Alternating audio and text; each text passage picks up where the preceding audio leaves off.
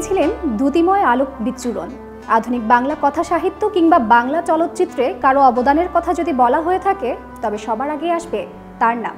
তিনি হলেন বহুমুখী প্রতিভার অধিকারী, লেখক জহির রায়হান। একাধারে ছিলেন ঔপন্যাসিক, চলচ্চিত্রকার ও কথা সাহিত্যিক। বিজয়ের মাসে আজকের আয়োজন শ্রদ্ধেয় জহির রায়হানকে নিয়ে সঙ্গে আছি আমি, তাজরিন ডিকা। সদ্য স্বাধীন বাংলাদেশ যাদের হারিয়ে হয়েছিল মেধাশূন্য, তাদের মধ্যে একজন ছিলেন জহির রায়হান। জন্মেছিলেন উনিশশো সালের উনিশ আগস্ট, ফেনী জেলার মজুপুর গ্রামে। সকলে তাকে ডাকতেন জাফর বলেই। বাবার পেশাগত কারণে পরিবারের সকলেই থাকতেন কলকাতায়। পরবর্তীতে সাতচল্লিশের দেশভাগের পর সপরিবারে চলে আসে ঢাকা শহরে। কিশোর বয়স থেকে বাংলাদেশের বিভিন্ন রাজনৈতিক ঘটনার সাথে প্রত্যক্ষ বা পরোক্ষভাবে জড়িত ছিলেন তিনি। ঢাকা বিশ্ববিদ্যালয়ে বাংলা নিয়ে পড়াশোনাকালীন তিনি ছিলেন ছাত্র ইউনিয়নের নেতা। বায়ান্ন এর রাষ্ট্রভাষা বাংলার দাবিতে ছাত্রদের মিছিলে দশ জনের যে দলটি সর্বপ্রথম একশো চুয়াল্লিশ ধারা ভেঙেছিল, তার মধ্যে অন্যতম ছিল ঢাকা কলেজের ইন্টারমিডিয়েট পড়ুয়া জহির রায়হান।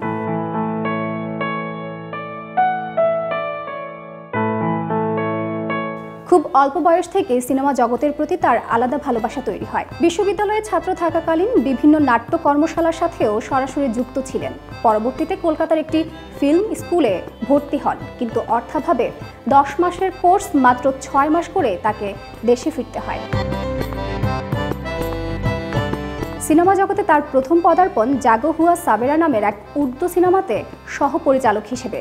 এছাড়া পরিচালক হিসেবে জহির রায়হানের যাত্রা শুরু হয় উনিশশো সালের সিনেমা কখনো আসেনির মাধ্যমে। দিনের বেলায় অনেক আলো রাত্রি হলে সবই কালো। উনিশশো সালে তিনি তৈরি করেন উপমহাদেশের প্রথম রঙিন সিনেমা সঙ্গম। একই বছরে প্রকাশিত হয়েছে তার রচিত কালজয়ী উপন্যাস হাজার বছর ধরে। এছাড়াও বাণিজ্যিক, অবাণিজ্যিক ও তথ্যচিত্র মিলিয়ে তিনি সর্বমোট বারোটি চলচ্চিত্র তৈরি করেছেন। জহির রায়হান মূল আলোচনায় আসেন উনিশশো তেষট্টি সালে মুক্তিপ্রাপ্ত কাচের দেয়াল চলচ্চিত্রের মাধ্যমে, যার জন্য পাকিস্তান চলচ্চিত্র উৎসবে শ্রেষ্ঠ চলচ্চিত্র পুরস্কার ও পেয়েছিলেন শ্রেষ্ঠ পরিচালকের সম্মাননা।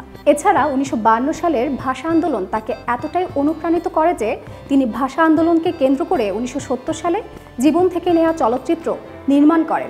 যে সিনেমা দেখে মুগ্ধ হয়েছিলেন তখনকার বিখ্যাত চলচ্চিত্রকার সত্যজিৎ রায়, ঋত্বিক ঘটক, মৃণাল সেন, তপন সিনহা সহ আরও অনেকে।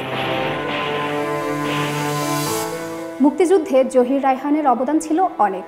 যুদ্ধের শুরুতে তিনি চলে যান কলকাতায়। শুরু করেন বাংলাদেশের স্বাধীনতার পক্ষে প্রচারাভিযান ও তথ্যচিত্র নির্মাণ। শুরু করেন তার বিখ্যাত স্টপ জেনোসাইড তথ্যচিত্র তৈরির কাজ।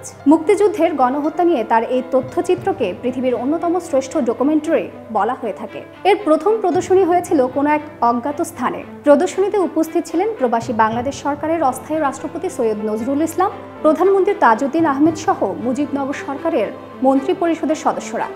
বাংলাদেশ স্বাধীনতা সংগ্রামের জন্য বিশ্বব্যাপী জনমত তৈরি করার ক্ষেত্রে এই তথ্যচিত্র অত্যন্ত গুরুত্বপূর্ণ ভূমিকা রেখেছে। এক্ষেত্রে অর্থনৈতিক দুরবস্থা থাকা সত্ত্বেও নিজের চলচ্চিত্র প্রদর্শনী হতে যত অর্থ এসেছিল, তার সব অকাতরে তিনি মুক্তিযোদ্ধা তহবিলে দান করে দেন। এরপর দীর্ঘ নয় মাস যুদ্ধ শেষে দেশ হয় স্বাধীন। উনিশশো বাহাত্তরের ত্রিশ জানুয়ারি রোববার সকালে রফিক নামের এক অজ্ঞাত টেলিফোন করে তার বাসায়।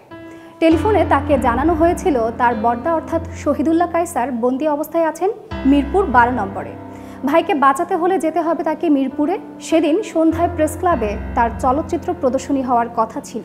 কিন্তু টেলিফোন পেয়ে জহির রায়হান দুটি গাড়ি নিয়ে মিরপুরে রওনা দিয়েছিলেন। সঙ্গে ছিল তার ছোট ভাই জাকারিয়া হাবিব, আরও কয়েকজন। মিরপুর দুই নম্বর সেকশনে পৌঁছানোর পর সেখানে অবস্থানরত ভারতীয় সেনাবাহিনী, তৎকালীন ইস্ট বেঙ্গল রেজিমেন্ট ও পুলিশের সদস্যরা নিরাপত্তার কারণ দেখিয়ে জহির রায়হানকে টয়োটা গাড়িসহ থাকতে বলে।